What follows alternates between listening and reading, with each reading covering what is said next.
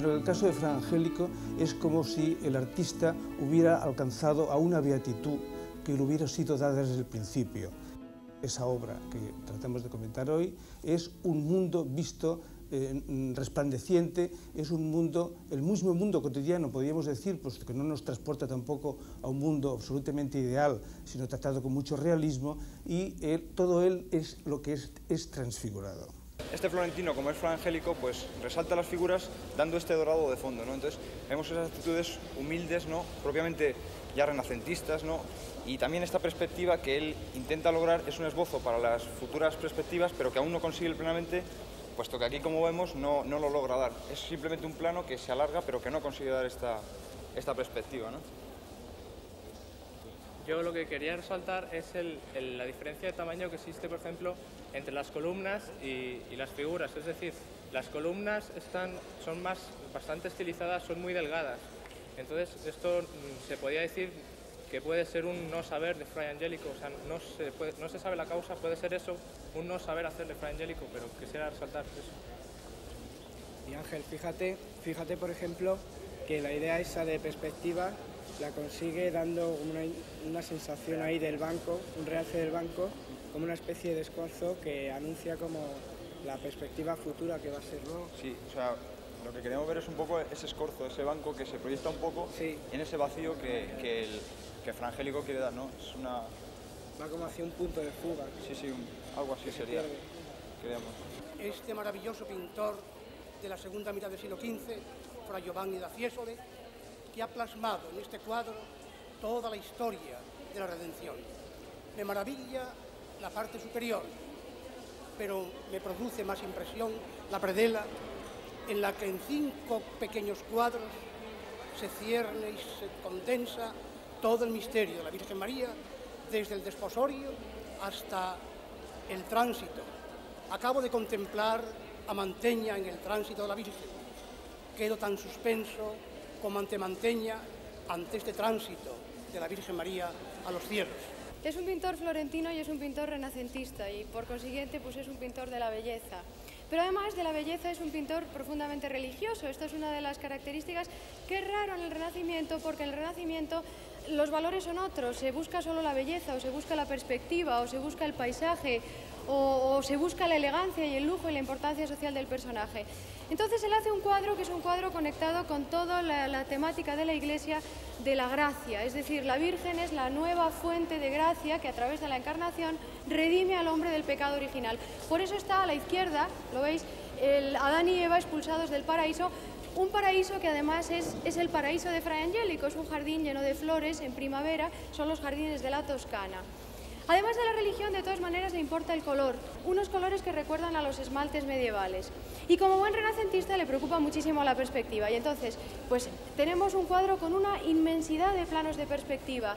Primero están las columnas, luego están los personajes, detrás hay aquella pared.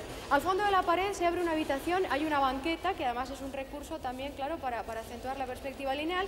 Al fondo vemos otra pared, la habitación aquella, y detrás de todo una ventanita por donde vemos el, el paisaje. Es decir, aquí está condensado todas las enseñanzas que se habían teorizado ¿no? ya desde el principios del 480, desde principios del siglo XV, acerca de cómo representar todos los planos posibles de profundidad, están aquí.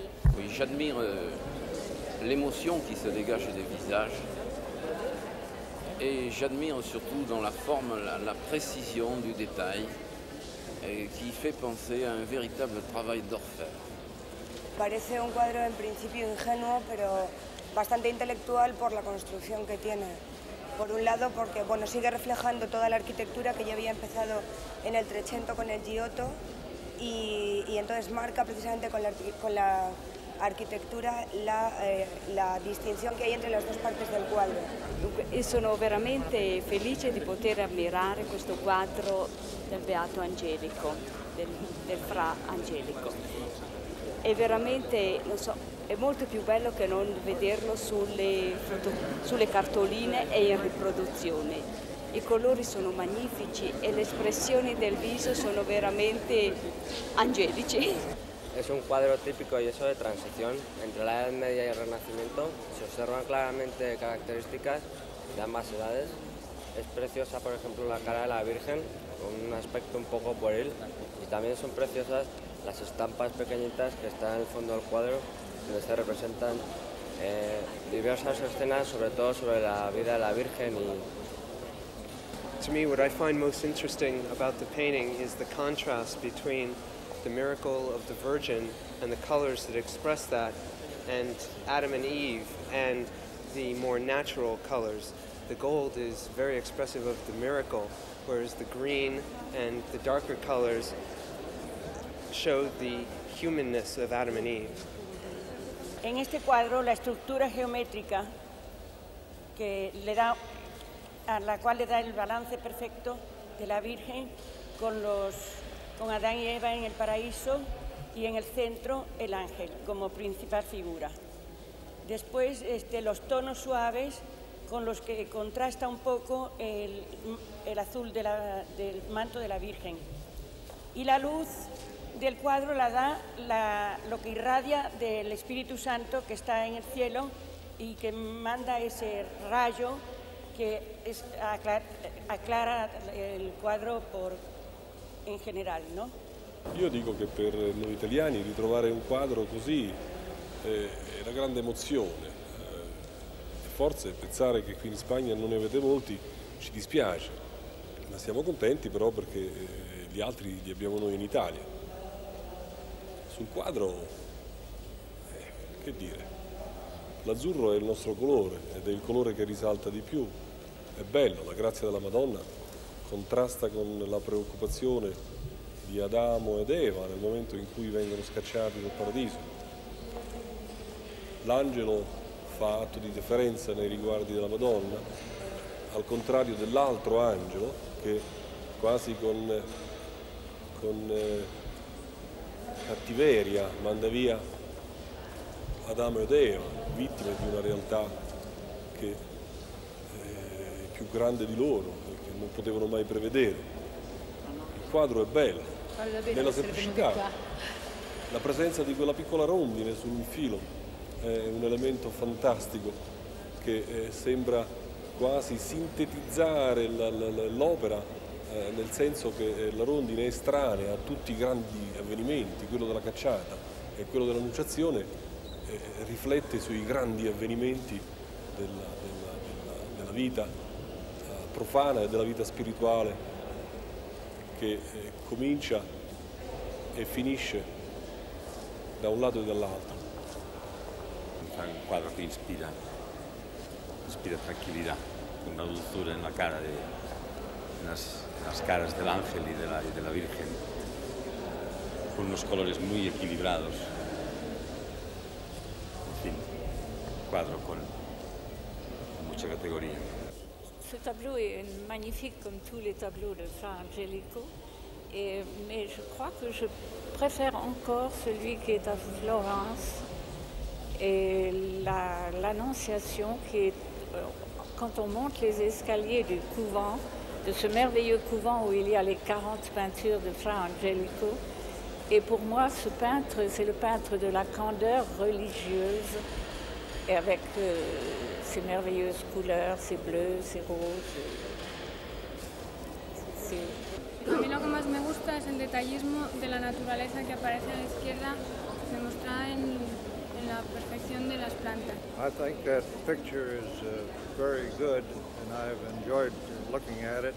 The colors are exquisite and uh, everything is very nice. El gran tratadista de arte Anilò Venturi, a propósito de un cuadro de Giotto, explica que lo primero que vemos al enfrentarnos a ese determinado cuadro son unos personajes, unos pastores, unas rocas, un arbolito, y que sin embargo nadie haría ese largo viaje que suele hacerse para ver ese cuadro si no fuera porque no es ese tema concreto, que estamos acostumbrados a ver mm, ese o otros semejantes en la vida cotidiana, sino la manera como el artista ha recogido todo eso. Todo eso. En el caso de este cuadro, La Anunciación de Frangélico, es ligeramente distinto. No son personajes que podemos encontrar en la vida diaria, sino nada menos que la Virgen, el ángel que le anuncia la buena nueva y como fondo Adán y Eva expulsados al paraíso. La vida religiosa, como dominico que era, de santidad, que es lo que le ha valido entre el público y no precisamente por un reconocimiento de la Iglesia, el calificativo de beato, hizo que mm, mm, los, críticos posteriores todos se refirieran ante todo a, esas anécdotas de su vida religiosa en vez de hacer ese estudio reflexivo que requiere siempre la obra de arte. Y sin embargo, ese enfrentamiento a la obra de arte nos hace ver lo insólito de su obra, porque no es lo humano, lo humano doloroso que siempre lleva dentro en el significado la obra artística, que es fruto de, una observación de lo real y al mismo tiempo pues, de una serie de frustraciones, de esperanzas siempre aplazadas por parte del artista hombre, sino que el caso de Fra Angélico es como si el artista hubiera alcanzado a una beatitud que le hubiera sido dada desde el principio, es decir, que no hubiera conquistado nada, sino que le hubiera sido dada esa gracia precisamente a lo que se refieren los cristianos. Entonces nos encontramos pues que el resultado, esa obra que tratamos de comentar hoy, es un mundo visto eh, resplandeciente, es un mundo, el mismo mundo cotidiano, podríamos decir, pues que no nos transporta tampoco a un mundo absolutamente ideal, sino tratado con mucho realismo, y todo él es lo que es, es transfigurado. Entonces vemos que eh, los temas están tratados con un gran realismo, y que eh, hay como una especie de collage, que diríamos usando la terminología de hoy, en el fondo, en el fondo a la izquierda, que es Adán y Eva cuando son expulsados del paraíso. Yo creo que ese carácter como accesorio que tiene la obra de arte es al mismo tiempo de que nos hace ver cuál es el tema principal, lo mismo que abajo en la predela hay una serie de temas menores, accesorios, nos hace ver que con la anunciación hecha a María por el ángel, con, ese, acto de amor de la divinidad hacia el hombre y el reconocimiento por parte de éste, es de algún modo saldada el pecado original, la deuda que tenía el hombre, el hombre mismo. Ese misticismo de Frangélico no es, por supuesto, ni un misticismo blando, ni tampoco nos lleva a un mundo de nieblas ni de oscuridades que traten de taparnos ese Dios verdaderamente escondido, sino que lo que hace es hacerlo resplandecer en las criaturas. Esta es la explicación de que haya mostrado tanto entusiasmo por, concretamente por, esta obra y por toda su producción en general, Eugenio Dors, amigo de pocos misterios precisamente, aquel que refiriéndose a San Juan de la Cruz, otro místico que podemos de alguna manera emparejar con Fra Angélico, decía que en la noche del alma, en San Juan de la Cruz, el poeta era el sereno en esa noche del alma. Pero todo esto que es el tema no existe si no es en arte, si no está Mm, recogido en una obra determinada que a su vez está eh, inserta en un desarrollo histórico.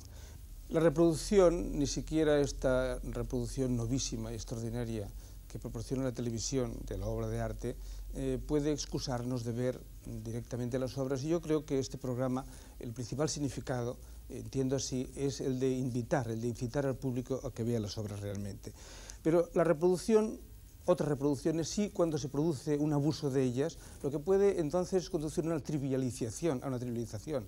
Y en el caso concretamente de esta obra de Fra Angélico, es una obra que a veces nos han llegado a aburrir, por decir de alguna manera, pues lo hemos visto reproducida en las cabeceras de muchas niñas, lo hemos visto también incluso en cajas de bombones, de modo que mm, mm, sin que Fra Angélico en aquel momento pudiera sospecharlo, su obra está también contaminada en esa trivialización de lo que conocemos hoy por kitsch o mal gusto.